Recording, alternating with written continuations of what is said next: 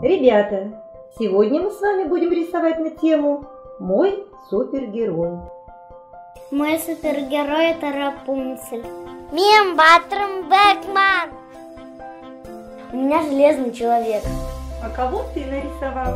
Мой супергерой Донор. Мама говорит, что он добрый и сильный. Он спас мне жизнь. Мой супергерой Донор.